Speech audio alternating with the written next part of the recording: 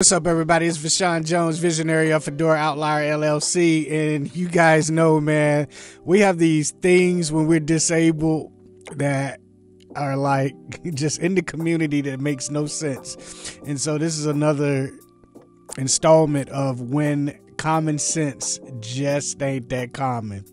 And this is a story about Fernandez, my lawn guy. He's been my lawn guy for a couple of years now.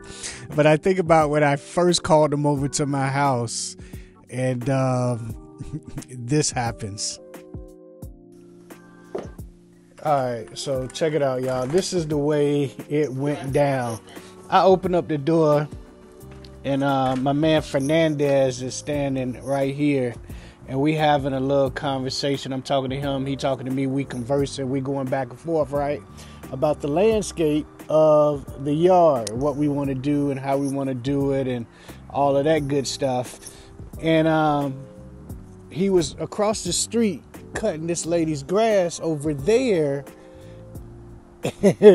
and I called him over. I said, "Hey man, I'm looking for a good landscaper, a good yard guy." And I'm talking to him, and then I tell him I'm blind. And you know what he does? Do you know what Fernandez does? Fernandez starts talking really, really loud, and I'm like, Fernandez, yo, check it out, man. I am blind.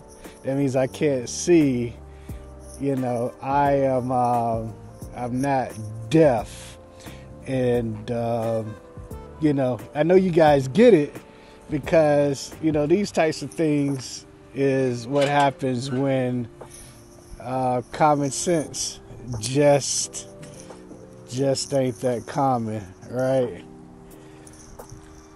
It is.